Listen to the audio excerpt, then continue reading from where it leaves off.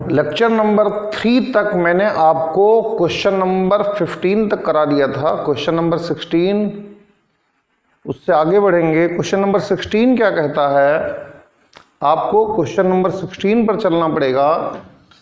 तो question number sixteen assignment Google Classroom पर uploaded हैं।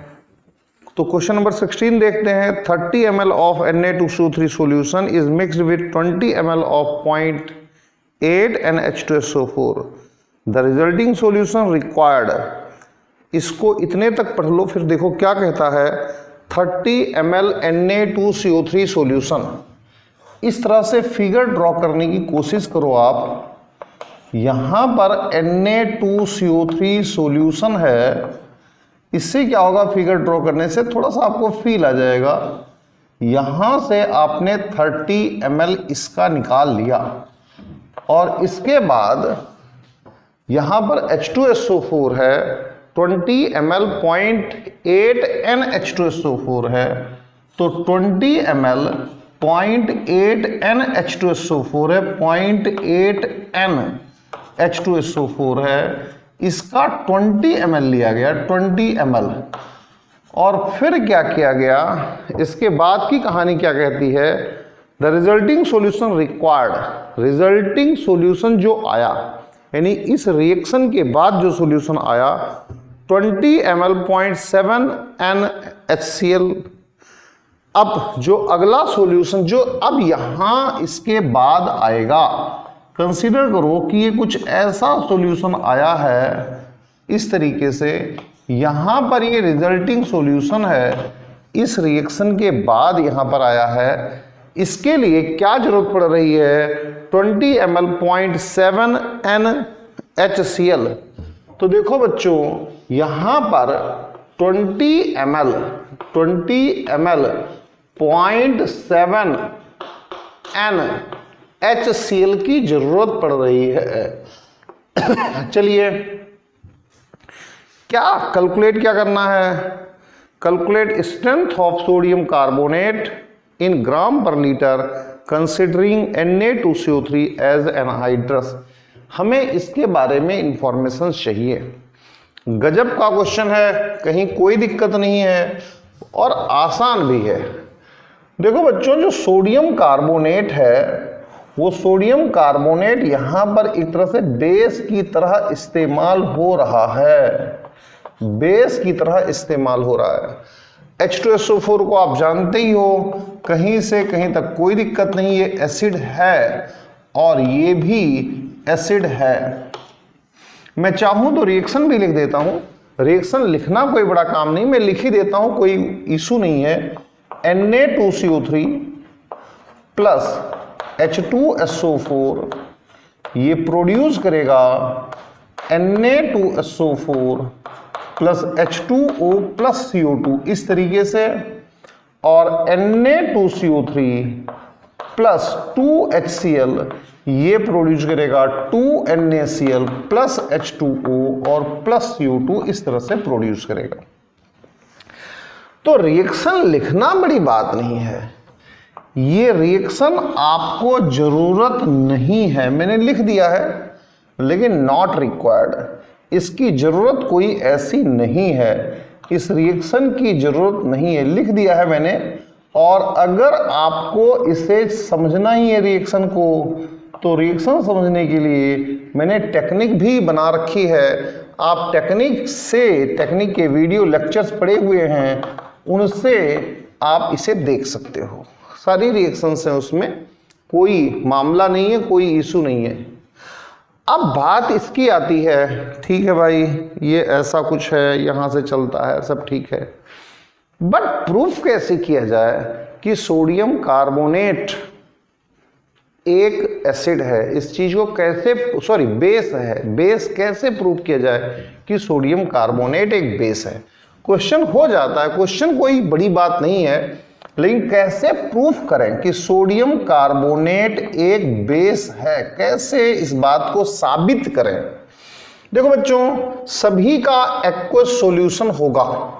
जहाँ पर कोई मीडियम नहीं गिवन है, पूरी केमिस्ट्री में आप वहाँ पर मीडियम वाटर का मान करके चलो। क्योंकि जो वाटर होता है, वो यूनिवर्सल सॉल्वेंट है। अगर आप इसको अभी से करके चलो तो water is universal solvent water is universal solvent ये यूनिवर्सल सॉल्वेंट है. जो पानी है, वो यूनिवर्सल सॉल्वेंट है. यूनिवर्सल सॉल्वेंट है. यूनिवर्सल सॉल्वेंट है. कहीं कोई दिक्कत नहीं है. तो जहाँ पर भी आपको, जहाँ पर भी आपको मीडियम या सॉल्वेंट ना गिवन हो, आप इसको अपने आप मान लो कि वाटर का मीडियम है। और आपके सिलेबस में तो वाटर की ही रिएक्शन है। तो सॉल्यूशन बनाने के लिए क्या किया गया होगा? इस सॉलिड सोडियम कार्बोनेट को पानी में डाला गया होगा। अब पानी से रिएक्शन करके क्या बनाया होगा इसने? इसने बनाया होगा 2NaOH plus H two C O three ये प्रोड्यूस किया गया होगा, इसने बनाया होगा। ये जो है आपके पास एन एच ये स्ट्रॉन्ग एल्कली या स्ट्रॉन्ग बेस है। ये स्ट्रॉन्ग एल्कली या स्ट्रॉन्ग बेस है। ये वीक एसिड है। ये वीक एसिड है। Weak acid weak acid weak acid weak acid है। और आप इस तरीके से मान के चलो कि एक जो प्रोडक्ट है प्रोडक्ट में जो स्ट्रॉन्ग है, उसी की चलनी है। बिल्कुल बिना किसी हिचके इस चीज़ को लिख लो कि प्रोडक्ट में जिसकी लाठी, उसी की भैंस। जिसकी लाठी, उसी की भैंस। बिल्कुल कहीं से कहीं तक दिक्कत में मत आओ। लिखो, आराम से लिखो, कोई दिक्कत नहीं है। तो स्ट्रॉन्ग कौन है? एन स्ट्रॉन्ग एन है। इसका मतलब सोडियम कार्बोनेट का एक्वस सॉल्यूशन बेसिक होगा। Aqueous solution of sodium carbonate is basic is basic ये बेसिक होगा। ये अल्कलाइन होगा। जिसमें कहीं से कहीं तक कोई दिक्कत नहीं है। और इस तरीके से ये सोडियम कार्बोनेट जो है, वो बेस हो गया, अल्कली हो गया, इसकी भी कोई खास ज़रूरत नहीं थी। ये मैंने आपको इंफॉर्मेशन के लिए लिखा है। टेक्निक्स में ये भी अवेलेबल है। ये सब कुछ आपको टेक्निक्स में मिलेगा। नॉट रिक्वायर्ड इसकी ज़रूरत नहीं है। और जब ये नॉट रिक्वायर्ड है फिर भी ये आपको टेक्निक में मिल जाएगा। यहाँ इस क्वेश्चन के लिए ज़रूरी नहीं है। टेक्निक्स में टेक्निक्स की वीडियो देख लीजिए, उसमें आपको आसानी से मिल जाएगा। फिर भी मैंने यहाँ पर करा दिया। Not required for this question इस क्वेश्चन के लिए कहीं से कहीं तक कोई ज़रूरत नहीं है। फिर भी चूँकि इंफॉर्मेशन देनी थी, दे दी। अब देखो जरा। ये दोनों, इसकी भी ज़रूरत आपको इस क्वेश्चन के लिए नहीं है। मैं काटता हूँ और इसकी ज़रूरत भी इस क्वेश्चन के लिए नहीं है। चलिए, अब सवाल करते हैं। यहाँ पर Na2CO3 एक बेस या फिर एक एल्कली है? इसने न्यूट्रलाइज किया, किसे? किसे किया? H2SO4 को किया। जो कि एक एसिड है, और HCl को किया, जो कि एक एसिड है, इन दोनों को न्यूट्रलाइज किया। अब इन्हें न्यूट्रलाइज किया है, इन दोनों को न्यूट्रलाइज किया है तो आप क्या करेंगे इसमें? M E Q of N A two C three ये इज़ इक्वल टू आएगा M E Q of H two S O four plus M E Q of H C L आएगा। M E Q of N A two C O three is equal to M E Q of H two S O four plus M E Q of H C L M E Q निकालने के लिए क्या करते हैं? Normality into volume तो इसकी normality कितनी है? इसकी नॉर्मलिटी एज्यूम करो N of N A two C O three है। इंटू वॉल्यूम वॉल्यूम कितना है? थर्टी है, thirty is equal to M E Q of H two S O four M E Q of H two S O four कितना है? Point eight into twenty तो point eight into twenty normality into volume ठीक है जी, आ गया। अब plus S C L का तो ये कितना है? पॉइंट सेवन इंटू ट्वेंटी कहीं कोई दिक्कत नहीं है, कोई परेशानी नहीं है। अब आप देखो normality of N A two C three इसको इस तरह पढ़ना चाहिए normality of N A two C three ये कितना आ जाएगा? आठ थ्री चौबीस ट्वेंटी फोर प्लस सात दुनी चौदह। और ये आग पास डिवाइडेड बाई कितना आएगा ये? थर्टी आएगा। भैया, इसके ज़ीरो को इसका पॉइंट खा गया, इसके ज़ीरो को इसका पॉइंट खा गया तो आठ चौबीस, सात दुनी चौदह, ये थर्टी यहाँ जाएगा नॉर्मलिटी आ गई। क्वेश्चन केवल इतना है और क्वेश्चन नहीं है। नॉर्मलिटी जब आ जाती है तो इसके बाद जब आपको प्रैक्टिस हो जाएगी, सवालों को करने की, तब फिर कोई दिक्कत नहीं बचती है। जब प्रैक्टिस हो जाती है, फिर बच्चा फटाफट करने लग जाता है। तब कहीं से लेकर के कहीं तक कोई परेशानी नहीं बचती है। अब आप देखिए, आगे क्या करेंगे? आगे क्या करेंगे?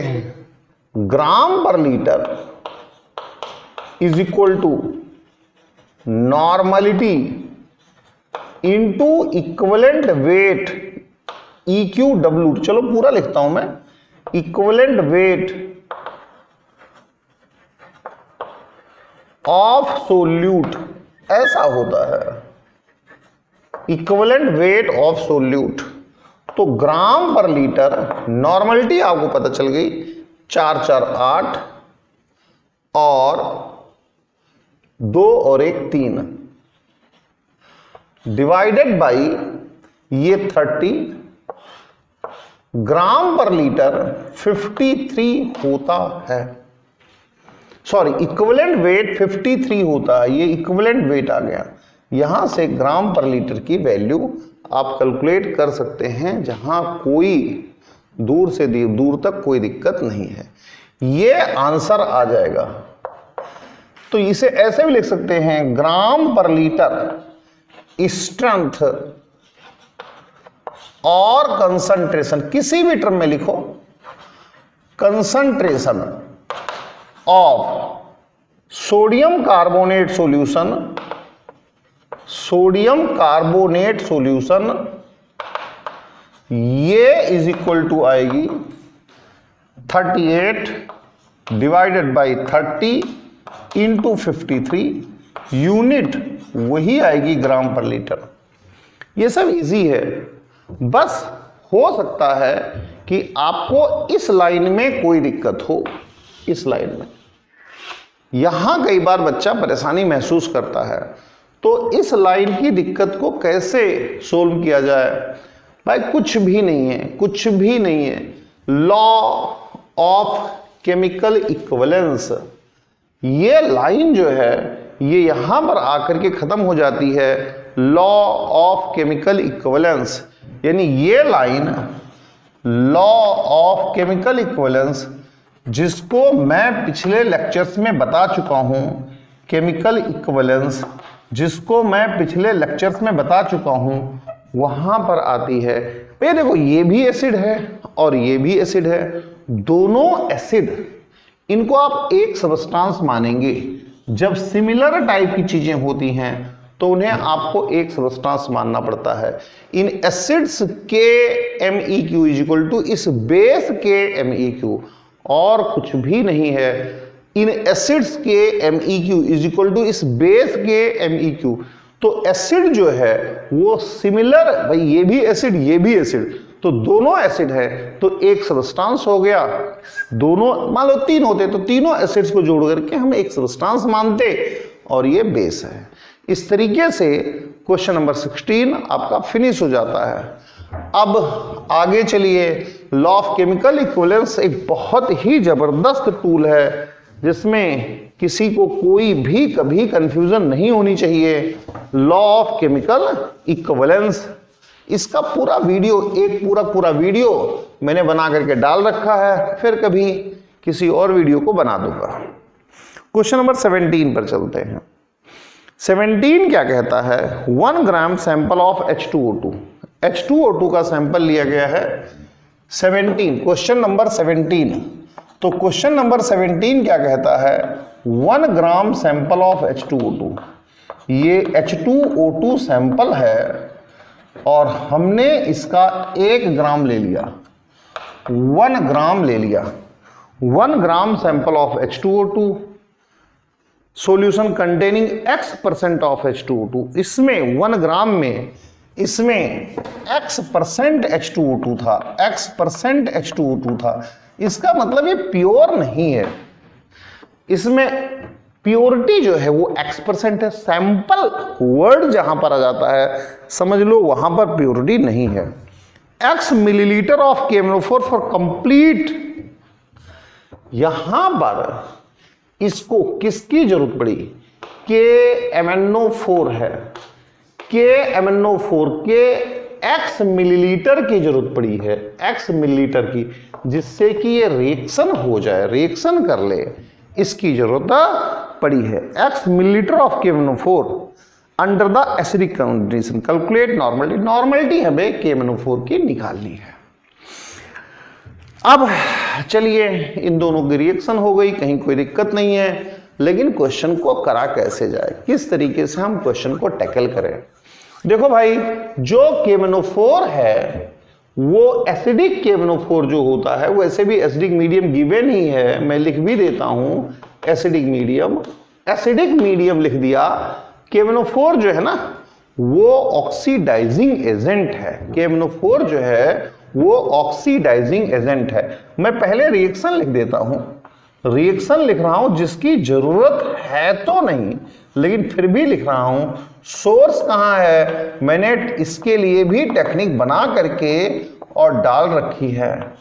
लिख रहा हूँ मैं two K one O four plus three H two S O four ये प्रोड्यूस करता है K two S O four plus two M N S O four plus three H two O plus five O ये oxidising agent है। ये oxidising agent या फिर oxidant है। यहाँ पर इसने नेसेंट ऑक्सीजन जनरेट किया। नेसेंट ऑक्सीजन को डेवलप किया है। ऑक्सीडाइजिंग एजेंट है। अब जरा देखिए आगे।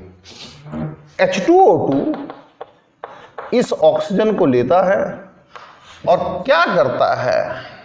ये बनाता है H2O plus O two five से मल्टीप्लाई कर दो। मल्टीप्लाई करने का रीजन है जिससे नेसेंट ऑक्सीजन से नेसेंट ऑक्सीजन कैंसिल हो जाए। मल्टीप्लाई कर दिया। क्या होगा? Two K four plus three H two S O four plus five H two O two ये प्रोड्यूस करेगा। K two S O four plus two M N S O four plus eight H two O plus five O two देखो equation balance लिख दी मैंने। लिख the equation balance लेकिन इसकी कोई ज़रूरत दूर दूर तक नहीं थी इस क्वेश्चन को करने के लिए। तो क्वेश्चन कैसे होगा? अरे भाई साहब, देखो ना H2O2 जो कि रिड्यूसिंग एजेंट है रिडक्टेंट है रिड्यूसिंग एजेंट है रिडक्टेंट है रिएक्शन कर रहा है के एमएनओ फोर से, जो कि ऑक्सीडेंट है या फिर ऑक्सीडाइजिंग एजेंट है। अब आप चलिए।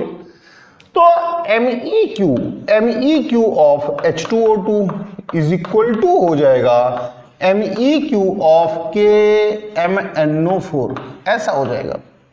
तो M E Q of H two O two क्या आ जाएगा? Mass in milligram upon equivalent mass तो मास इन मिलीग्राम कितना आएगा? वन ग्राम का एक्स परसेंट वन ग्राम का एक्स परसेंट मास जो आएगा, वन ग्राम का एक्स परसेंट आएगा तो वन ग्राम का एक्स परसेंट इसका मतलब एक्स डिवाइडेड बाई हंड्रेड इसका मतलब पॉइंट ज़ीरो वन एक्स ये आ जाएगा। ये इसका मास आएगा, किसमें? ग्राम में आएगा। अब इसको मिलीग्राम में चेंज करना है तो इसको मिलीग्राम में चेंज करने के लिए थाउज़ेंड की मल्टीप्लाई करनी पड़ेगी। और जब थाउज़ेंड की मल्टीप्लाई करनी पड़ेगी, अरे भाई साहब वन ग्राम है, इसमें प्योरिटी कितनी है? एक्स परसेंट है तो वन ग्राम का एक्स परसेंट ले लो। Point zero one X gram आ जाएगा। मिलीग्राम में चेंज करना है तो उसके लिए थाउज़ेंड की मल्टीप्लाई अपॉन इक्विवेलेंट मास H2O2 का इक्विवेलेंट मास 17 होता है। अब चलो आगे M E Q of K four कितना? Normality into volume normality of K M N O four into volume कितना लगा? एक्स लगा ना। इस एक्स से ये एक्स कैंसिल हो गया और normality of K N O four आ गई। यानी कि पहली बात तो इसकी ज़रूरत नहीं है। इस क्वेश्चन को करने के लिए रिएक्शन लिखने की ज़रूरत नहीं है। किसी भी हालत में नहीं है। इतना ही है और जब आपको प्रैक्टिस हो जाएगी तो आप इसे डायरेक्ट लिखने लग जाओगे, जहाँ कोई दिक्कत नहीं है। अगर आपको ये मास का चक्कर समझ में ना आया हो तो देखो weight of pure weight of pure H2O2 ये कितना आएगा?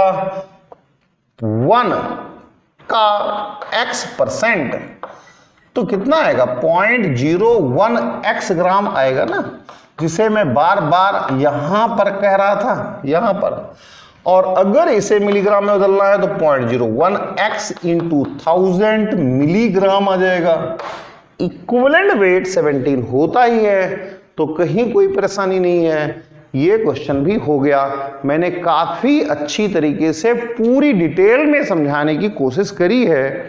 किसी भी क्वेश्चन को लिखने की ज़रूरत नहीं है। 18 क्वेश्चन पर चलते हैं। क्वेश्चन नंबर 18 क्वेश्चन नंबर 18 में क्या है? ये क्या कहता है और सवाल को करेंगे कैसे? तो क्वेश्चन नंबर 18 पर चलो भाई आप।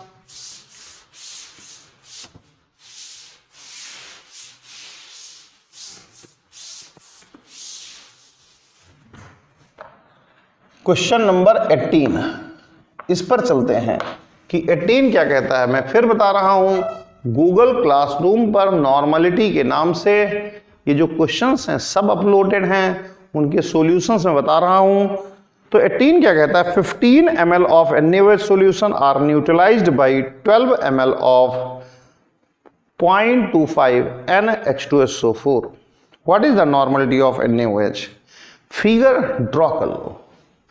फिगर ड्रॉ करने में बहुत अच्छा रहता है, बहुत समझदारी रहती है। ये एन है।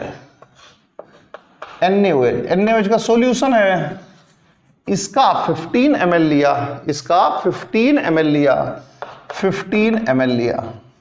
एन का सॉल्यूशन है, इसका 15 एम लिया। इसके बाद यहाँ पर क्या है? यहाँ पर क्या है? इसका हमने क्या किया? 12 M L point two five N H two S four है। 12 एम लिया point two five N H two S O four है point two five N H two four है। रिएक्शन कर रहे हैं।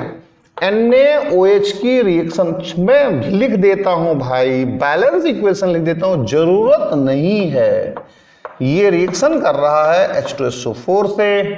तो Q of H is equal to M E Q of H two S O four और अगर आप इसे अच्छी तरह से करें तो क्या हो जाएगा? Normality of N A O H into volume 15 is equal to normality of H two S O four into volume 12 answer आ चुका है। आंसर में कोई दिक्कत नहीं है। देख, कितना इजी है सब कुछ। बसरते आप चीज़ों को जाने। यहाँ पर ये क्या लगा है? ये law of chemical equivalence law of chemical equivalence किसी भी इक्वेशन की कोई भी ज़रूरत नहीं है। पहले भी मैंने इसको लिखा है इक्वेशन को, जिसकी ज़रूरत नहीं है उससे भी लिख देता हूँ। Two N A O H plus H two S O four, ये N A two S O four plus two H two O, ये टेक्निक है, ये टेक्निक में मैंने गिवन दिया है आपको न्यूट्रलाइजेशन टेक्निक है, इसकी ज़रूरत यहाँ पर नहीं है। बिल्कुल काट दो। क्वेश्चन नंबर 19 पर चलते हैं कि क्वेश्चन नंबर 19 क्या कहता है? इसे लिखा रहने देते हैं। क्वेश्चन नंबर 19 पर चलते हैं और 19 क्या कहता है उसे देखें। 19 कहता है बच्चों calculate strength of H two S O four in gram per litre whose 12 M L H two S O four है, उसका 12 12 M L needed 15 M L of N by ten N H इसी में थोड़ा सा कर लेते हैं। यहाँ पर N by ten N by ten N H यहीं पर इसको ही चेंज कर देते हैं। क्वेश्चन नंबर 19 यहाँ पर n by ten N H है।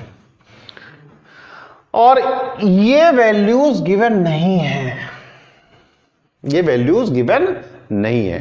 यानी H2SO4 गिवन नहीं है। H2SO4 गिवन नहीं है। हुज 12 ml इसका 12 ml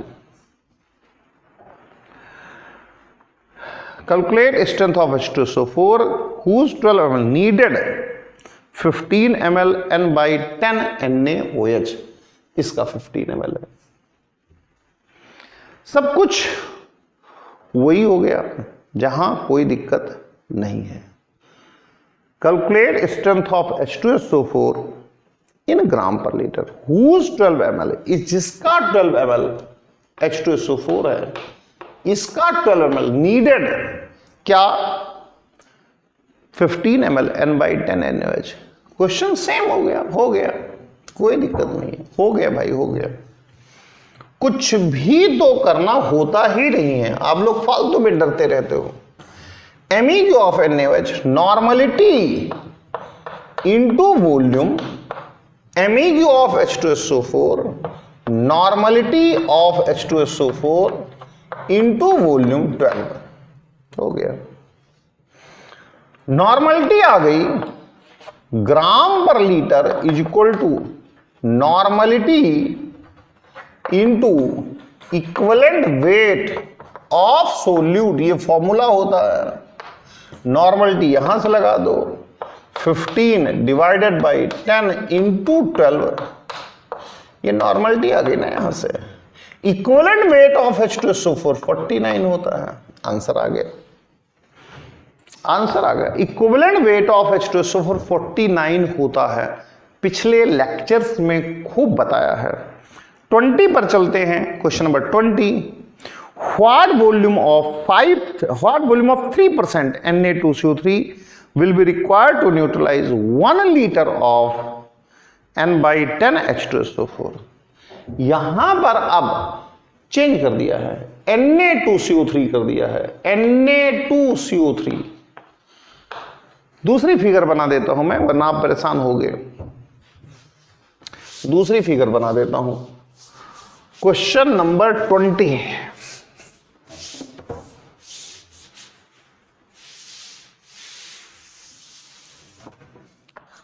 question number twenty यहाँ पर सोडियम कार्बोनेट है, सोडियम कार्बोनेट। और सोडियम कार्बोनेट यहाँ पर सल्फ्यूरिक एसिड है H2SO4 है। एक बेस है Na2CO3 बेस है। What volume of three percent Na2CO3 ये थ्री परसेंट Na2CO3 सॉल्यूशन है। इसका कितना वॉल्यूम कंसीडर करो, V ml लिया गया। कैसे न्यूट्रलाइज कर रहा है? किस चीज़ को न्यूट्रलाइज कर रहा है? One litre N by ten H two S O four ये N by ten H two S O four है। इसका कितना लेते हैं? वन लीटर इसका मतलब थाउज़ेंड मिलीलीटर। तो ये थ्री परसेंट क्या है भाई? थ्री परसेंट थ्री परसेंट क्या है? मेरे बच्चों, इस चीज़ को अच्छी तरीके से समझिए। ये थ्री परसेंट क्या है? थ्री परसेंट थ्री परसेंट मतलब है कि three gram of solute Na2CO3 in 100 ml of solution normality निकालिए।